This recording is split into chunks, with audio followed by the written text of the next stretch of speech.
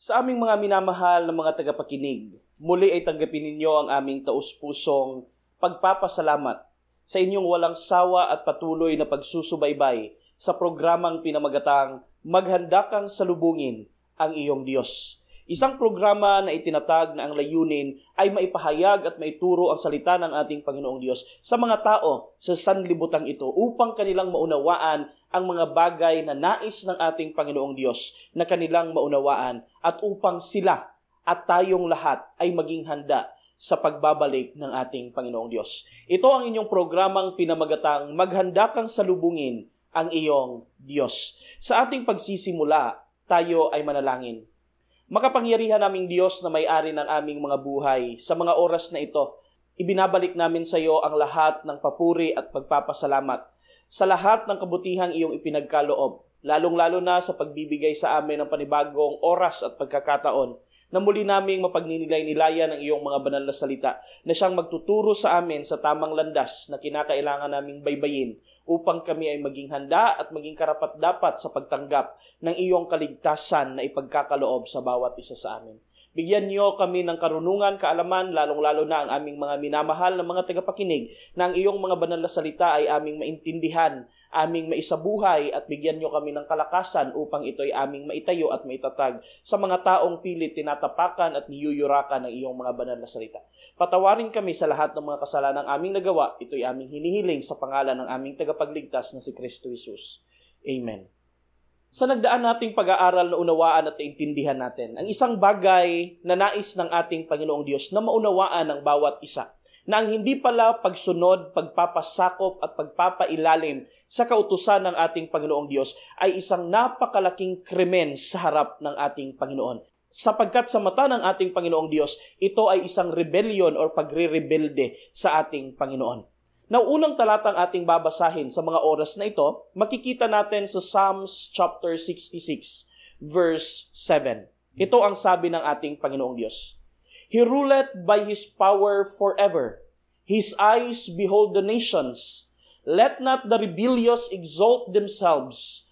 Ang talatang ito mga kapatid ay nagpapaunawa at nagpapaintindi sa bawat isa sa atin na yung ating Panginoong Diyos ay mamamahala at maghahari sa sanlibutan ito sa pamamagitan ng kanyang kapangyarihan magpahanggang kailan paman. Ibig sabihin, walang panahon na kung saan yung ating Panginoong Diyos ay pwede nating palitan sa kanyang pagiging hari. Subalit ang salita ng ating Panginoon ay malinaw na nagsabi at nagturo sa bawat isa sa atin na yung ating Panginoong Diyos ang maghahari magpahanggang kailan paman. Itinuro rin at sinabi ng ating Panginoong Diyos na tinitingnan ng ating Panginoon kung sino ang mga tao na kanilang ine-exalt yung kanilang mga sarili at nagre-rebelde sa harap ng ating Panginoong Diyos.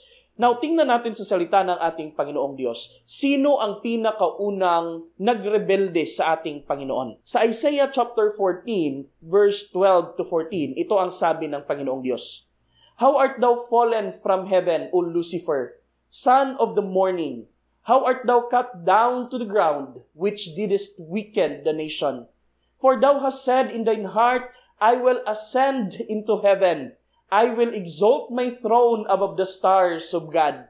I will sit also upon the mount of the congregation in the side of the north. I will ascend above the heights of the clouds. I will be like the Most High. Sa talatang ito mga kapatid, mauunawaan at maiintindihan natin kung sino ang pinakaunang nidikha ng ating Panginoong Diyos na nagrebelde sa kaniyang harapan sa pamamagitan ng pag-exalt ng kaniyang trono. Ibig sabihin, sa pamamagitan ng pagtatag ng kaniyang sariling kaharian na kaaway sa kaharian ng ating Panginoong Diyos. At ito mga kapatid ay walang iba kung hindi si Lucifer. Now, tingnan natin mga kapatid, sa ibang talata ng salita ng ating Panginoong Diyos, kung ano yung resulta ng pagre-rebelde ni Lucifer sa gobyerno ng ating Panginoong Diyos. Revelation chapter 12 verse 7, And there was war in heaven. Michael and his angel fought against the dragon, and the dragon fought and his angels. So ibig sabihin, yung resulta ng pagre-rebelde ni Lucifer, isang anghel ng ating Panginoong Diyos ay nagkaroon ng labanan doon sa langit. Kaya nga kung titingnan natin ngayon dito sa Pilipinas, dahil may mga taong nagre-rebelde sa gobyerno ng ating Panginoong Diyos, nagkakaroon ng labanan sa pamamagitan, mga kapatid, ng patayan physically between sa mga tao na nagrebelde sa gobyerno at sa gobyerno ng ating bansa. So ibig sabihin, ang pagre-rebelde sa harap ng ating Panginoong Diyos ay hindi magdudulot ng isang maganda at mabuting resulta. Subalit, ang magiging resulta nito ay digmaan, labanan at hindi kapayapaan. Now, tingnan natin mga kapatid, yun bang ginawa ni Lucifer na pagre-rebelde sa harap ng ating Panginoong Diyos? Ito ba'y isang kasalanan? Tingnan natin sa Ezekiel chapter 28, verse 15.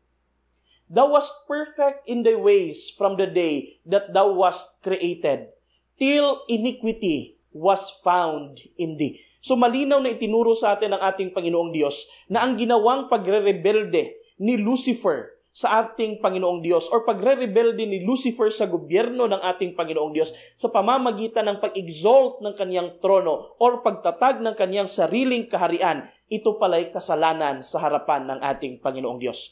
Now, tingnan natin, ano ba yung kasalanan? Sa 1 John chapter 3 verse 4, Whosoever committed sin transgresseth also the law.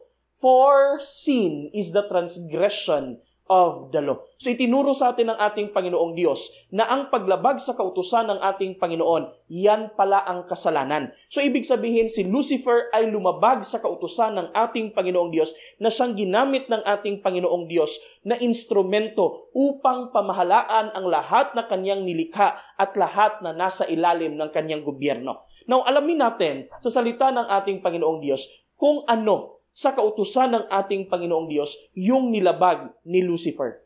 Exodus chapter 20 verse 3. Ano ba ang sinabi sa kautusan ng ating Panginoong Diyos? Thou shalt have no other gods before me. So sa salita ng ating Panginoong Diyos, kanyang itinuro at ipinaalam sa bawat isa sa atin na ang kautusan pala na nalabag ni Lucifer ay ang unang utos ng ating Panginoong Diyos na nagsasabing huwag kang kumilala ng ibang Diyos. At sa pamamagitan ng pag-exalt ni Lucifer sa kanyang sarili at pagkilala sa kanyang sarili na siya ay Diyos at pagnanais na maging Diyos, ito ang kautusan na ladabag ng kaaway na si Lucifer. Now, tingnan natin mga kapatid, sa ibang talata ng Biblia, ano ang ginawa ng Diyos dahil sa kasalanang ginawa ni Lucifer? Tingnan natin sa Revelation chapter 12, verse 7 to 8. Ano yung resulta nito? And there was war in heaven. Michael and his angel fought against the dragon, and the dragon fought and his angels, and prevailed not.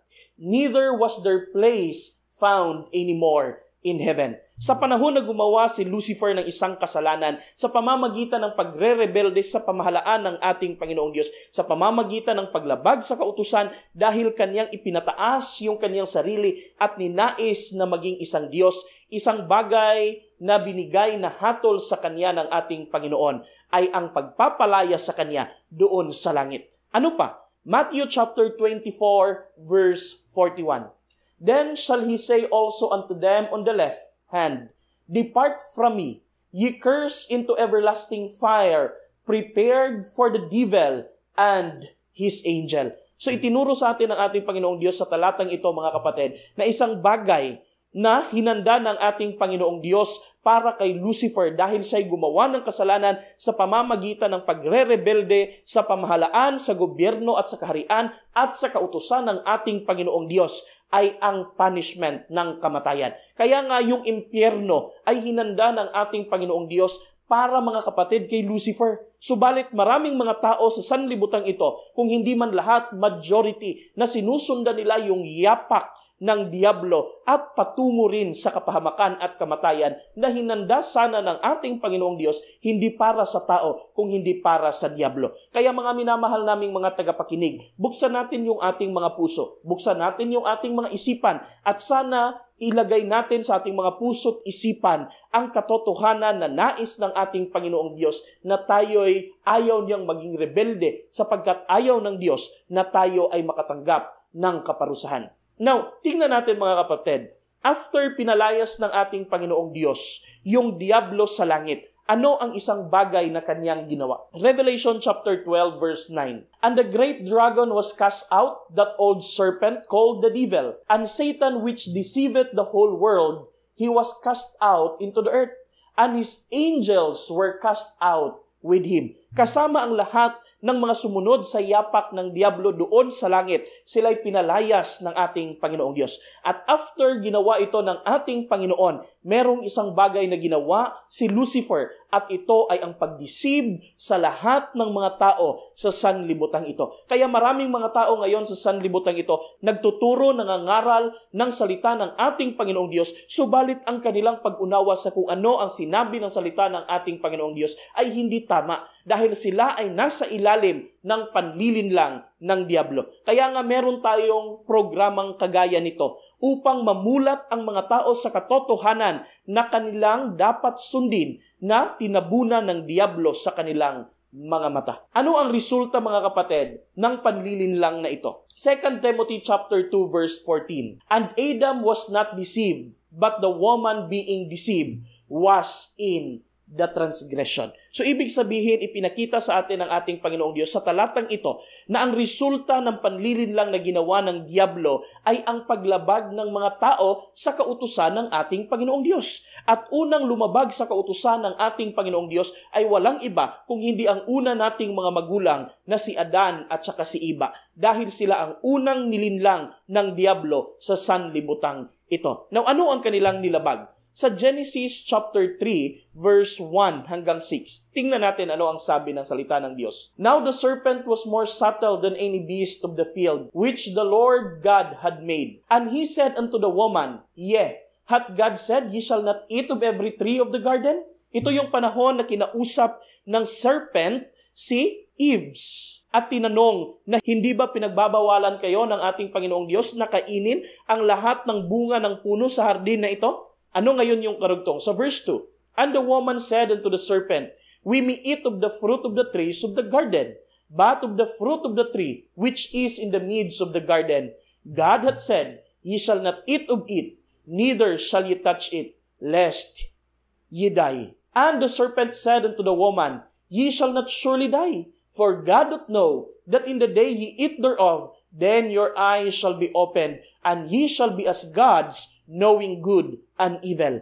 And when the woman saw that the tree was good for food, and that it was pleasant to the eyes, and a tree to be desired to make one wise, she took of the fruit thereof, and did eat, and gave also unto her husband with her, and he did it. So dito mga kapatid, sa mga talatang ito, maiintindihan natin na yung deception pala na ginawa ng Diablo sa ating unang mga magulang na si Adan at saka si Iba ay ang the same na kasalanan na kanyang ginawa. At ito mga kapatid ay ang pagpapapaniwala sa ating unang mga magulang na pwede silang maging Diyos sapagkat ito ang isang bagay na ninais ng Diablo. At ano yung nangyari sa ating unang mga magulang? Alam natin na kanilang nilabag yung kautusan ng ating Panginoong Diyos dahil sa kanila ring pagnanais na maging kagaya ng isang Diyos. Now, ano ang resulta ng kasalanan ito? Genesis chapter 3 verse 15. And I will put enmity between thee and the woman, and between thy seed and her seed.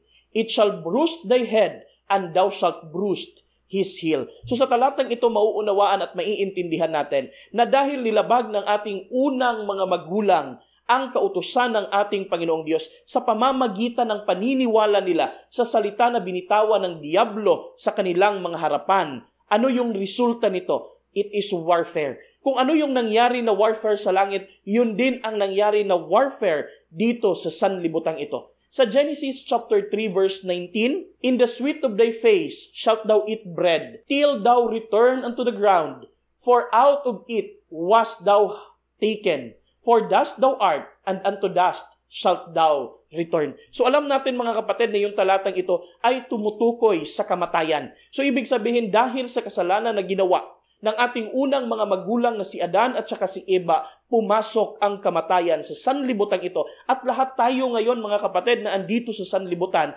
ay nakakaranas ng mga pighati, nakakaranas ng sakit at kahit pa kamatayan dahil sa kasalanang nagawa ng ating unang mga magulang na siyang ginagawa rin ng napakaraming mga tao sa sanlibutan ito sa pamamagitan ng paglabag sa kautusan ng ating Panginoon. Sa Romans chapter 6 verse 23. For the wages of sin is death, but the gift of God is eternal life through Jesus Christ our Lord. So walang ibang kabayaran ang kasalanan kung hindi ang kamatayan. So death penalty mga kapatid ay isang bagay na prinsipyo ng ating Panginoong Diyos. Sa lahat ng mga tao na hindi sumusunod sa kanyang kautusan at lumalabag, hindi nagpapasakop at hindi nagpapailalim, nagiging rebelde sa harap ng ating Panginoong Diyos, ang kaparusahan sa kanila ng ating Panginoon ay walang iba kung hindi ang kamatayan. Sa panahon mga kapatid na tayo ay lumabag, ano yung mangyayari? 1 John chapter 3 verse 8. He that committed sin is of the devil, for the devil sinned from the beginning. For this purpose the Son of God was manifested that He might destroy the works of the devil. So itinuro sa atin ng ating Panginoong Diyos na sa panahon pala na tayo'y lalabag sa kautusan ng ating Panginoong Diyos at maging rebelde sa harap ng ating Panginoong Diyos, tayo pala mga kapatid ay nagiging pagmamayari ng Diablo. Nagiging rebelde tayo sa gobyerno ng ating Panginoong Diyos, subalit nagiging kasamahan at nagiging ilalim tayo ng gobyerno ng Diablo. Kaya nga sa John chapter 8 verse 44 to 45, ano ang sabi ng ating Panginoong Diyos? Ye are of your father the devil, and the last of your father ye will do. He was a murderer from the beginning, and abode not in the truth, because there is no truth in him. When he speaketh a lie, he speaketh of his own, for he is a liar, and the father of it. And because I tell you the truth, ye believe minat. Sa mga taong gumagawa ng kasalanan, sila'y nagiging anak ng Diablo. Nagiging kabahagi ng gobyerno ng Diablo, subalit nagiging kaaway at nagiging rebelde sa harap ng ating Panginoong Diyos. Kaya sana wag nating hayaan na manatili sa bawat isa sa atin ang ating pagiging rebelde sa harap ng ating Panginoong Diyos dahil hindi tayo sumusunod sa kautusan ng ating Panginoong Diyos. Subalit, buksan natin ang ating mga puso, buksan natin yung ating mga kaisipan at tanggapin at sundin sundin ang kautusan ng ating Panginoong Diyos upang maging kaibigan at hindi maging kaaway tayo ng ating Panginoong Diyos. Kaya kami nananawagan sa lahat ng aming mga minamahal na mga tagapakinig, lalong-lalo na sa mga tagapagturo sa sanlibutan ito na nagtuturo ng maling aral sa pamamagitan ng pagtuturo na ang kautusan ay hindi na kinakailangan nating sundin. Kinakailangan nating itigil yung mga aral na yan at talikuran yung mga aral na yan at sundin kung ano ang tunay na itinuro ng salita ng ating Panginoong Diyos.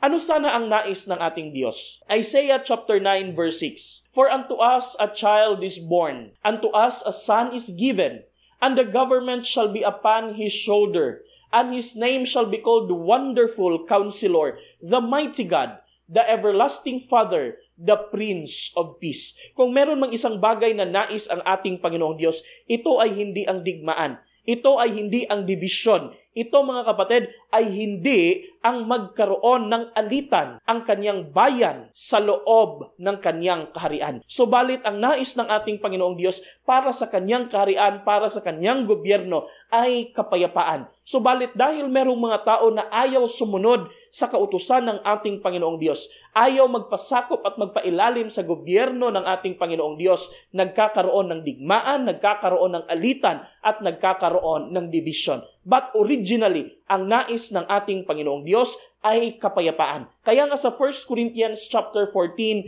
verse 33 and then 40, ito ang sabi ng ating Panginoong Diyos. For God is not the author of confusion, but of peace, as in all churches of the saints. Let all things be done decently and in order. Ang ating Panginoong Diyos ay God of order. Ang ating Panginoong Diyos ay Diyos ng kapayapaan. Ang nais ng ating Panginoong Diyos ay kapayapaan at hindi kaguluhan. Ang nais ng ating Panginoong Diyos ay kapayapaan, pagkakaisa at hindi division. Pero ano yung nangyari ngayon sa sanlibutan? Yung ating Panginoong Diyos ay gumawa ng division, yung ating Panginoong Diyos ay gumawa ng warfare mula sa Diablo at sa mga taong hindi sumusunod sa kanyang mga kautusan. But originally, ang nais ng ating Panginoong Diyos ay kapayapaan. Now, paano natin makakamit ang kapayapaan? Sa Isaiah chapter 48 verse 18, And that thou hadst hearkened to my commandments, then had thy peace been as a river, and thy righteousness as the waves of the sea. So itinuro sa atin ng ating Panginoong Diyos, ang kapayapaan ay makakamit sa pamamagitan ng pagsunod sa kanyang kautusan. Kaya nga dito ngayon sa sanlibutan mga kapatid, kung ang lahat ng mga tao lang sana ay susunod sa kung ano yung batas ng ating gobyerno, magkakaroon sana ng kapayapaan. Kung ang lahat ng mga tao ay marunong sumunod sa kung ano yung batas na pinapatupad sa mga bansa kung saan sila nabibilang, meron sanang kapayapaan. At kung ang lahat ng mga tao sa sanlibutan ito ay sumusunod sa kautusan ng ating Panginoong Diyos na siyang kautusan or batas sa kaniyang gobyerno, magkakaroon sana ng pagkakaisa at magkakaroon sana ng kapayapaan at wala sanang kasalanan at wala sanang digmaan na mangyayari. Ito yung katotohanan na dapat nating tanggapin at dapat nating sundin. Sa Psalms 119, 165, Great peace have they which love thy law, and nothing shall offend them. Ang salita ng ating Panginoong Diyos ay nagsabi na ang kapayapaan ay maaabot ng lahat ng mga tao na sumusunod sa kaniyang mga kautusan. Kaya itigil na natin mga kapatid yung paglabag, pagyurak, pagtapak sa kautusan ng ating Panginoong Diyos at pangangaral na ang kautusan ng ating Panginoong Diyos ay hindi na kinakailangang sundin, hindi na kinakailangan nating lakaran, hindi na kinakailangan nating ituro. Ito'y napakalaking kasinungalingan sapagkat malinaw sa salita ng ating Panginoong Diyos na ang kautusan ay foundation ng kapayapaan. Kung tayo ay sumusunod sa kautusan ng ating Panginoong Diyos, makakamtan sana natin ang kapayapaan at ang kapayapaan ng sanlibutan ito ay patuloy nating natatamasa sa mga oras na ito. Proverbs chapter 3 verse 1 to 2. My son, forget not my law, but let thine heart keep my commandments, for length of days and long life, and peace shall they add to thee.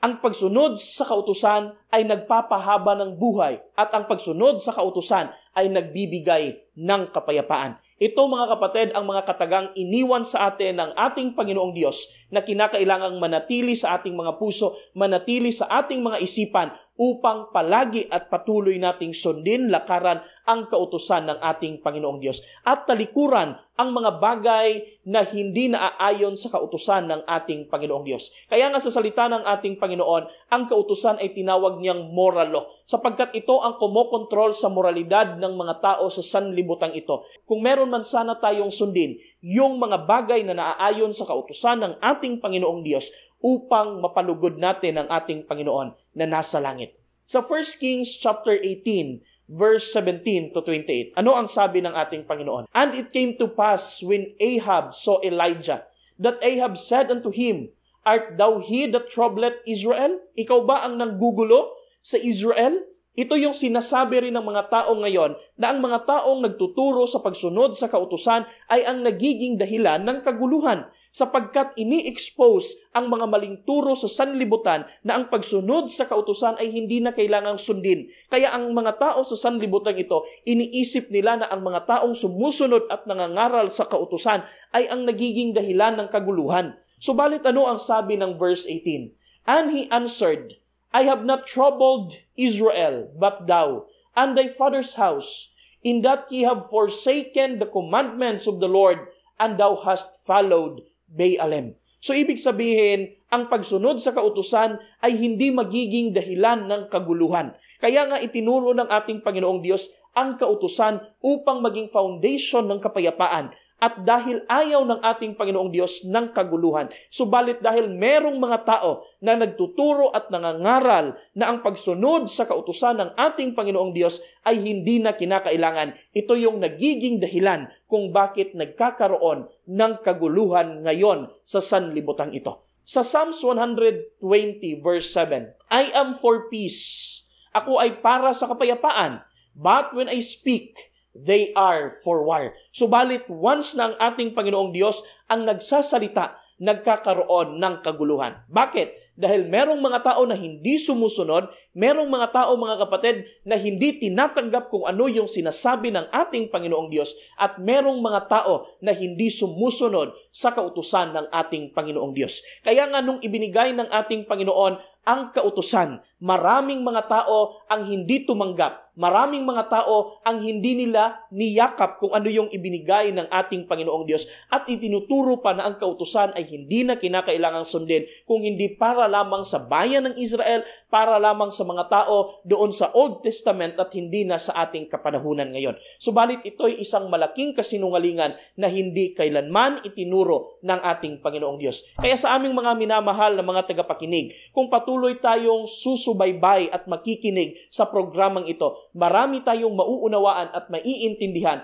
lalong-lalo na sa patungkol sa kautusan ng ating Panginoong Diyos, na ang kautusan ng ating Panginoong Diyos ibinigay hindi lamang sa bayan ng Israel, kung hindi kahit sa panahon na wala pa ang Israel. At mauunawaan at maiintindihan din natin na ang kautusan ng ating Panginoong Diyos ay nananatili hanggang ngayon at magpahanggang kailan paman sapagkat ito'y pundasyon ng gobyerno ng ating Panginoong Diyos at sa pamamagitan nito tayo'y pinapamahalaan ng ating Panginoong Diyos. Mauunawaan at maiintindihan din natin sa ating pagpapatuloy kung ang araw ng Sabat na itinuro ng salita ng ating Panginoong Diyos ay nananatili pa ba sa ating kapanahunan ngayon, kinakailangan bang sundin ng mga Kristiyano or hindi na kinakailangan sundin ng mga Kristiyano. Mauunawaan at maiintindihan din natin sa ating pagpapatuloy kung ang kautusan ng ating Panginoong Diyos ay nawala ba dahil dumating yung biyaya. Ang lahat ng ito mga kapatid ay ating mauunawaan at maiintindihan sa ating pagpapatuloy. Kaya ibalik natin sa ating Panginoong Diyos ang lahat ng papuri at pagpapasalamat sa lahat ng kabutihang kanyang ipinagkaloob sa bawat isa sa atin. Tayo ay manalangin. Makapangyarihan naming Diyos na may-ari ng aming mga buhay. Pinapasalamatan ka namin, Panginoong Diyos, sa lahat ng iyong ipinagkaloob na kabutihan, lalong-lalo na sa mga oras na ito muli mong binuksan ang aming mga puso at isipan, ang aming mga pag-iisip upang maunawaan at maintindihan ang lahat ng mga bagay na nais mong iparating at ipahayag sa bawat isa sa amin. Salamat Panginoong Diyos sapagkat ibinigay niyo sa amin ang banal na Espiritu na siyang nagbukas sa aming mga puso at isipan, nagpakumbaba sa aming mga puso upang tanggapin ang lahat ng mga liwanag na iyong ipinagkaloob. Patawarin kami sa lahat ng mga kasalanang aming nagawa. Basbasan niyo ang programang ito at ang lahat ng aming mga minamahal na mga kapatid at lahat ng aming mga minamahal na mga tagapakinig upang kami ay magkaroon ng kalakasan at patuloy na makapaglingkod sa iyong harapan. Patawarin kami sa lahat ng aming mga kasalanang nagawa. Ito'y aming hinihiling sa pangalan ng aming tagapagligtas na si Kristo Jesus. Amen.